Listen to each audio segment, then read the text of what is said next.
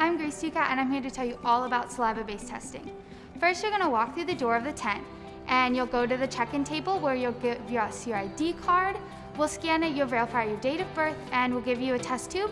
You'll walk through to the usher to a green spot on the floor. All the instructions are laid out there for you, step by step. You'll remove your mask and drool into the tube about two milliliters, it's really not a lot. So then once you're done, you'll take it to the checkout, you'll put your tube in a bag and you're good to go. Start to finish, it's about three to five minutes or less, depending on if there's a lot of people here. If you're having trouble salivating, you can rub this out of your mouth, um, make chewing motions, or think about your favorite food or sour foods like lemons or pickles. And you're gonna wanna make sure you don't eat, drink, brush your teeth, use mouthwash, or any tobacco products for 60 minutes prior to giving your sample.